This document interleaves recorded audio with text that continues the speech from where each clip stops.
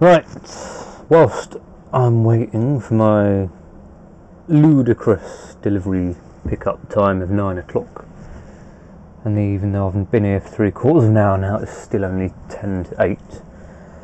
I have been asked a question by Radio 1 Fan 21, who will be doing their HGV license very soon. And for anyone else who is also about to do theirs and looking for information, they ask Can you do a video on how HGV clutches work? E.g., do you have to press the clutch on and off, then you can change gear, or is it like a car? Uh, when you say press the clutch on and off, I assume you mean double declutching, uh, where you push the clutch in, out of gear, off the clutch, back on the clutch, into new gear, off the clutch, and then finally we can press on and continue to accelerate. Uh, that is usually referred to as a crash box, and the only place I know they use them is in America. Uh, the only reason I could find they use them is because it saves on bulk and weight, but I can't see that really saving a huge amount of weight. Really, because it's only a few extra components, but uh, yeah, the only re real reason I can think of that it would be done is um, because the the huge distances that they cover from end to end of the country compared to somewhere like Europe or just the UK is that uh, having a crash box we have to double declutch to get it in and out of gear all the time is that uh, there's less components in it so there's less stuff to go wrong it's more reliable there's less to maintain and that's the only real reason I could think that they'd have gearboxes like that but over here in the UK and the rest of Europe, we have synchro mesh gearboxes in all our lorries, uh, just like a car. Uh, since the 1950s is when they first started to appear, but it wasn't until the 1980s that every vehicle had a synchro, a synchro mesh on every gear in the gearbox.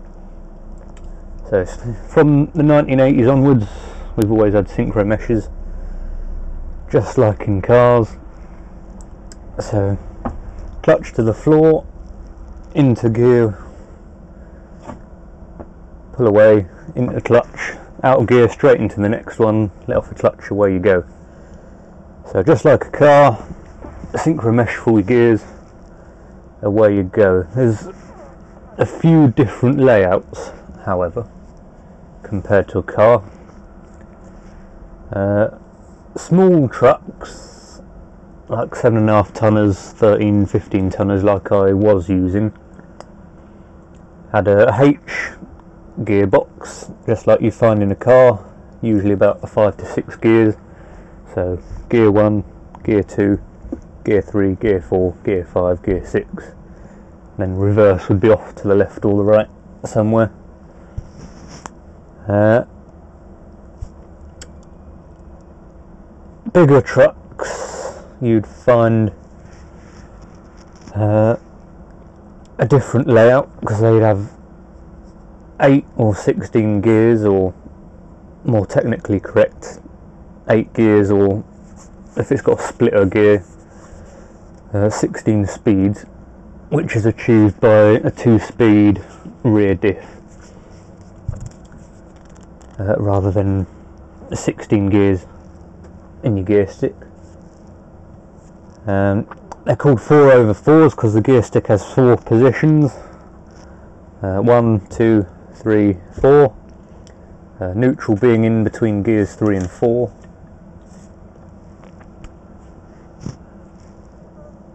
And then on the front of the gear stick you'll have a, what's called a range changer or selector switch and when it's pointing down it's for the low gears. When it's pointing up it's for the high gears. So if you're uh, in fourth gear, let's say you flick the switch up before you change, and you go to change, and as soon as you push it out of fourth gear, the pneumatics will swap around the gear ratios, and now first gear becomes fifth, sixth, seventh, and eighth. So second is uh, sixth, third is seventh, fourth is eighth. Then on some trucks, not all of them have it, they you also get a selector switch on the side which gives you your half gears and that's operated simply by dipping the clutch in and back out again. Uh, a third method of changing gears or a third layout of gearboxes is what's called a slap over gearbox where instead of like the 4 over 4 they're positioned on top of each other. You get your eight gears next to each other so a bit like a car with the H box. One two three four. Then you have a bit in the middle that provides some resistance. And then next to that you've got five six seven and eight and it's called a slap over gearbox because the neutral is like the 4 over 4 between 3 and 4 and you can operate around in them four gears. Then you'd slap it over the resistance gate bit in the middle. And then it will come to rest between 5 and 6 as a new neutral point and you can operate in them four gears. So what you typically do with that. Is because I had them on my training vehicle you'd start off in a fourth and you'd push it out a fourth right over let it go back to where it wants to sit in the neutral position then pull it back into sixth is the easiest way to operate those sorts. Uh, then you've got gearboxes like this one which is a manual gearbox but They've done away with the clutch pedal and here should be a gear lever, they've done away with that. And it's been replaced with uh, this little lever here which allows me to manually change up and down the gears or override the automatic gearbox. And then underneath here I've got a little selector switch so in the middle is N for neutral, to the right I've got D for drive and then one more to the right uh, tortoise for low speed manoeuvres and to the right you've got R for reverse and again another tortoise there. Now this isn't a traditional automatic like you'd get in a car with torque converters and friction bands and all those sorts of cogs. This is a normal manual gearbox and then they've stuck a computer on top of it with a load of pneumatic actuators that changes all the gears for you. So all you have to do is put your foot on the throttle as it revs up. It'll automatically push the clutch in, let off the throttle, change to whichever gear is appropriate, let the clutch back out again and pick up the throttle without you doing anything. And there are two settings you can have it in automatic and it will do the gears for you or you can have it in manual where you tell it when to change up and down which is useful for hills. But uh, I generally leave it in automatic. And I think that's about it for gears and clutches. So if you're new and you want to learn that's some of the various layouts uh, no pictures appeared of what the 4 over 4 and uh, was it the slap over gearbox appear? That's because the upload didn't like it and the video appeared with the black border around which I don't like it when it does that so I got rid of that.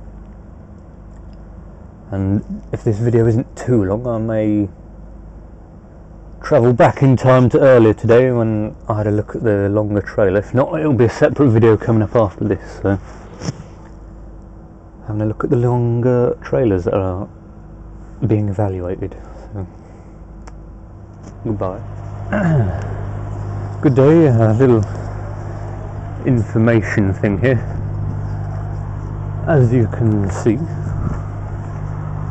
I'm standing next to a trailer here. But uh, you may have read in the paper or somewhere that uh, the government were thinking of making longer trailers by an extra two metres, so it would be up from the current 13.6 metres to 15.6 metres, uh, as well as other things like increasing the motorway speed to 80 miles an hour. Uh, then there was the unfortunate uh, incident on the M5, and the papers were umming and ahhing, and they would say, or they were saying, that the government was just going to sort of quietly sweep it under the rug and we wouldn't hear anything of it. But apparently, I've just found out yesterday that there is a 10 year trial going on for these trailers 15.65 metre demo trailers. Uh, what was there, a thousand or 1,800 I've read, so we've got hold of one here. I've heard yesterday, so I've just come to check it out today. So here it is. Standing at the front here, it is noticeably longer than a normal trailer. Uh, I don't know if the camera gives it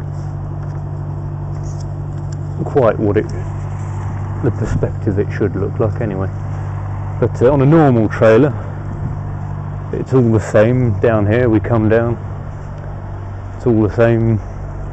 But we find one axle, we find a second axle, then there should be a third one here, and the trail usually ends about here. But on these ones, we've got an extra couple of metres on the back and a gap between the third axle. Uh, these third axles are rear steer. And uh, these trailers have no bigger turning circle than a conventional trailer. Under UK or European law I think it is. I have found a couple of links online uh, a couple of links, a couple of videos even uh, that show these trailers working alongside a normal trailer and the manoeuvring aspects of them. But uh, I can't get back far enough really to give you an overall view. That's about as good as I can get really, as surrounded by trailers and that. But uh, these new trailers, they do exist. They are being trialled for 10 years. Uh, I don't know how many more are going to be produced, but links for the videos will be on this video. Uh, watch them for more information if you want it. But I've got to get to work now, so see you again sometime.